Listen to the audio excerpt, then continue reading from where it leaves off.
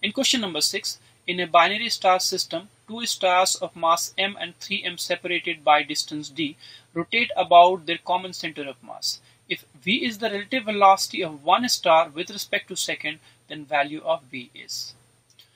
First, we'll try to calculate the angular velocity of the system of stars about their center of mass. And then, to have the answer for the relative velocity of one star with respect to other, we'll just write down omega into the relative distance. That will be the method here. Fine. So, this mass being m and this is 3m this distance being d. So from here to here it will be how much? It is d by 4 this will be the center of mass. Force on any one of the mass I'm taking this one as the reference. I would write it down as g m into 3m divide by d square must be total centripetal force here. It will be 3m omega square into r that is d by 4 here. This 3m will cancel out and I'm having this as 4 gm this one is 4 gm divided by d cube square root. This is the value of angular velocity.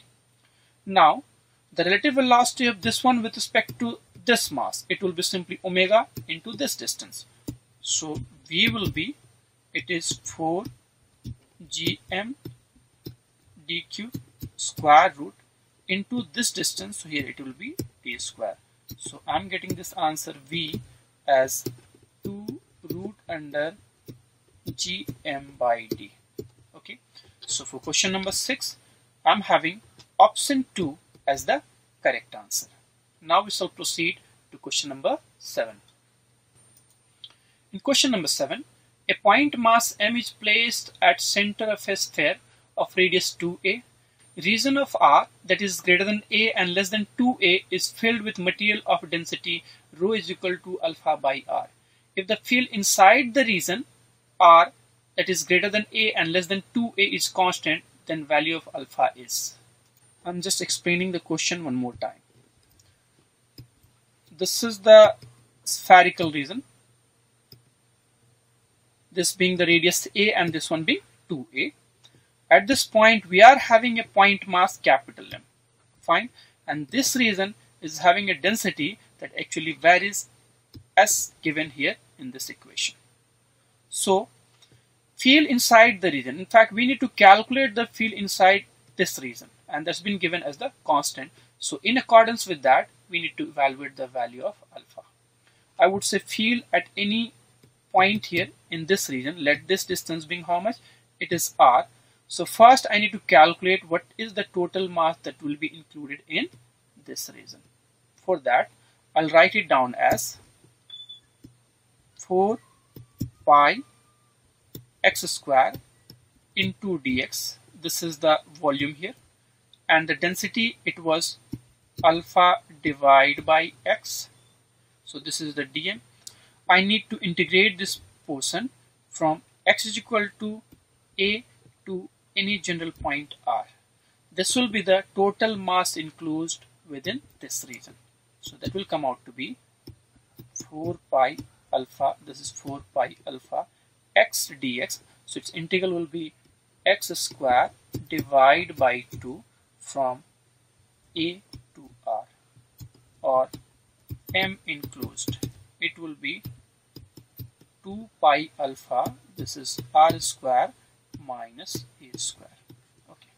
And already there was mass m at the central point here. So the field at this point at a distance r from the axis would now be it is E would be equal to G M R square plus G 2 pi alpha R square minus A square divided by R square. Fine.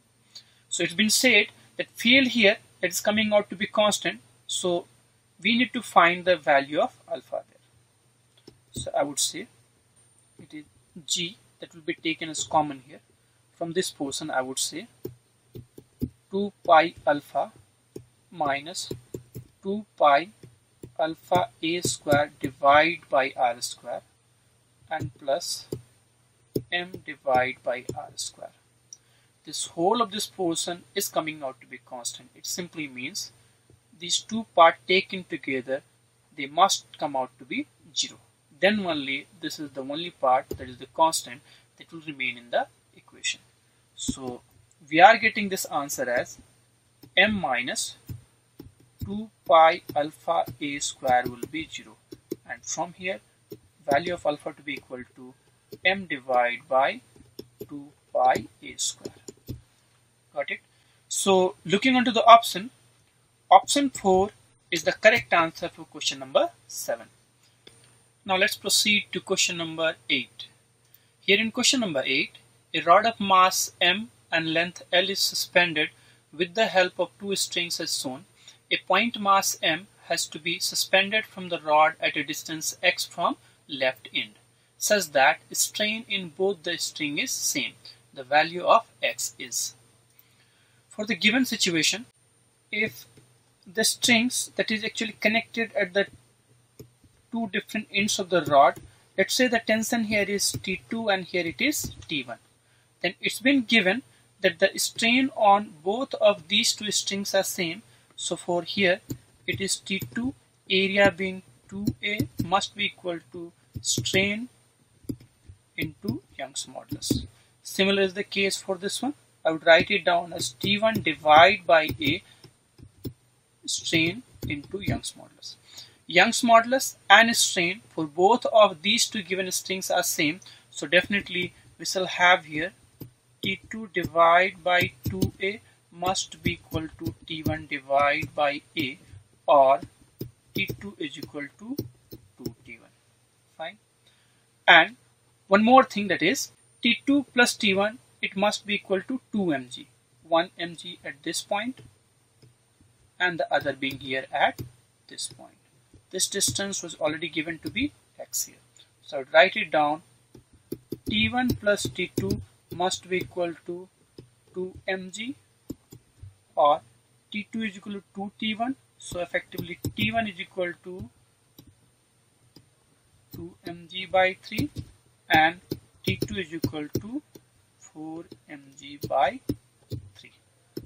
Now we shall write down the torque about this point. So I would say torque because of this mass mg would be capital mg into x because of this mass it would be capital mg into l by 2 must be equal to t1 into l t1 was how much it is 2 mg divided by 3 into L. mg will cancel out here and we are having x is equal to 2L by 3 minus L by 2. It is 2L by 3 minus L by 2. Or I would say x would be this part being 4L minus 3L. It is coming out to be L by 6. Got it? So for question number 8, we are getting option 1 as the correct answer. Now we shall proceed to question number 9. Here in question number 9, a spherically symmetric gravitational system of gaseous particle has mass density rho naught for r less than or equal to capital R.